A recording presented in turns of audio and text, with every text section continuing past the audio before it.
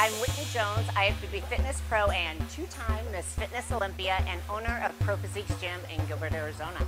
So last year as I was prepping for the 2019 Olympia, um, I was defending my title, so it was a big prep.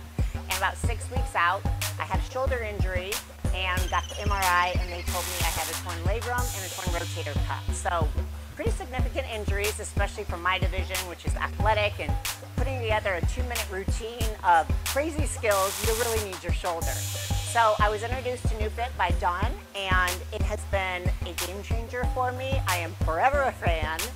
Basically, um, due to the injury, I've torn my left side. This was my right side that I had injured last year. And when I approached Dawn, I said, I don't know what to do. I'm six weeks out from the biggest show of the year and I can't move my arm. I mean, it was literally just stuck to the side.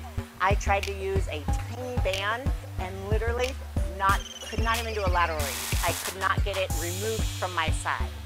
So I went to see her that afternoon um, after I got the MRI results and said, can you do some magic? Is there anything you can do to help me out with this? And of course, she hooked me up to the NeuFit and within 10 minutes, I was doing lateral raises with 10 pound dumbbells with no pain. And it's just crazy because of course I've heard of the technology, had never experienced it, and never thought it would be as beneficial as it was. So I was a believer from that day on, and of course it's truly the only way I made it to the Olympia stage last year. I was seeing her three times a week to get the treatment done. Um, in between routine training, I would do my routine practice for hours, totally destroy my shoulder to the point where it wasn't moving again, going for treatment, and of course got range of motion back.